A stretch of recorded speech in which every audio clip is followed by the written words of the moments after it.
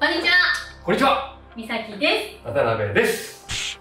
始まりました。私の部屋です。よろしくお願いします。お願いします。お願いします、はい今日はアレンジ前のベースの作り方について紹介したいと思います。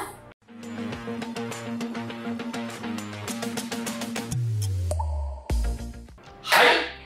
暑くなってきてヘアアレンジする方も増えてきてると思います。なので今日はちょっとベースについて詳しくやっていきたいなと思います、はい。はい。これができると結構アレンジが上手に見えるんじゃないかなと思いますのでぜひ参考にしてみてください。それでは動画スタート。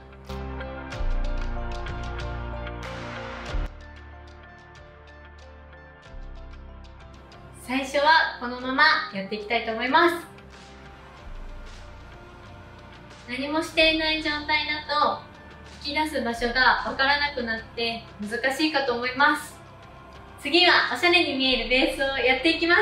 まずブラシで溶かしていきます。後ろに結ぶので後ろに向かって溶かしていきま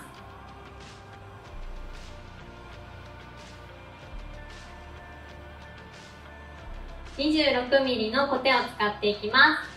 鉢植えのこの部分だけ巻いていきます。少し細めの2センチ幅くらいで束を取ります。下から上に向かってコテに巻きつけていきます。手先は少し外して巻きつけます。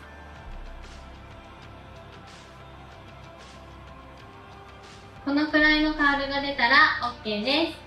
外した後はカールはほぐさないでそのまま置いておいてください。残りも同じように同じ方向で巻きつけていきます。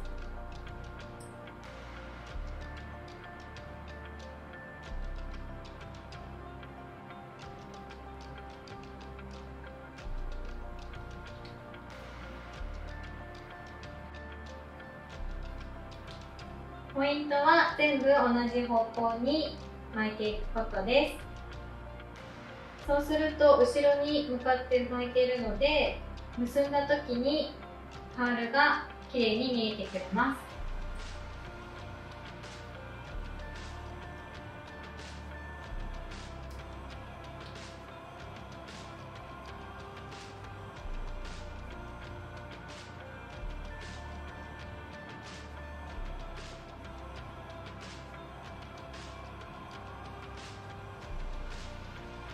右側が巻き終えた状態です。左側は右側と逆向きに巻いていきます。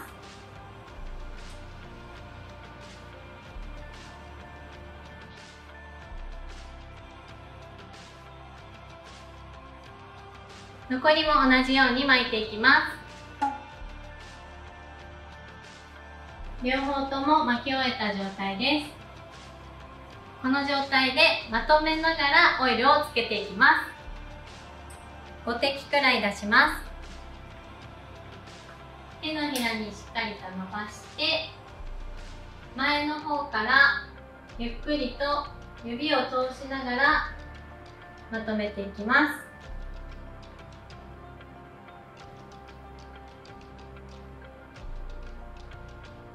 ざっくりとカールを崩さないようにまとめていきます。毛先もしっかりつけます。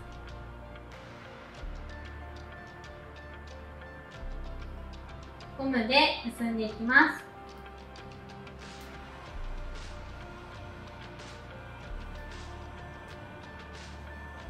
つまむのではなくて掴み出すようにボリュームを出していきます。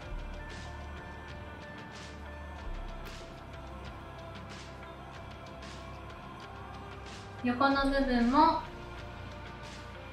少しずつ出します。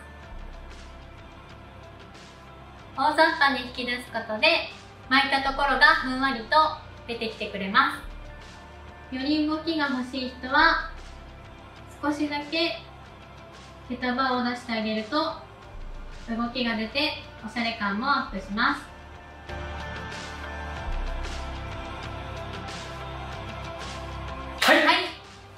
感感じで出来上がりました。はい、お疲れ様でした。ありがとうございました。えっと、ポイントは、まず溶かす。そして、鉢植えを2センチ幅で取り分けて巻いていく。はい、で、右と左、反対方向に巻いていく。後ろ向きにね。そうです。うん後ろ向きに巻いていく。はい、そして、最後の出すを、うんえっと、つまむんじゃなくて、掴み出す。うん、そこポイントですね。はいうんうん。これで、結構おしゃれ感も、ルーズ感も出るかなと思います。結構、あのー多分自分でやるときって巻かなくてそのまま出してる方もいるかなと思うんですけど巻いてることによって、まあ、あの引き出したときにねこうウェーブがちょっとこう浮き上がってくるっていう感覚ですねで出るからちょっとおしゃれにねルーズに見えるはい。であの一番最後にもやったんですけどちょっとだけこうあの最後にこうよりおしゃれっぽく見せるんだったらちょっとつままなあかんやなちょっとだけ。ちょっとだけつまんであげるとまたおしゃれにも見えるのではい。まあ、梅雨の時期は正直ちょっとペタッとしちゃうかもしれないですけど梅雨明けて、まあ、夏とかで湿気がない日、まあ、湿気はあるか でもあのちょっとおしゃれに見せたい時は結構使える方法かなと思いますので、えー練習は必要だと思いますでも何度かやったらできるやつだできます。全然できます。なので、はいよかったら参考にしてみてください皆さんはい。はい ありがとうございました。ありがとうございました。また次回で会いましょバイバイう。さよなら。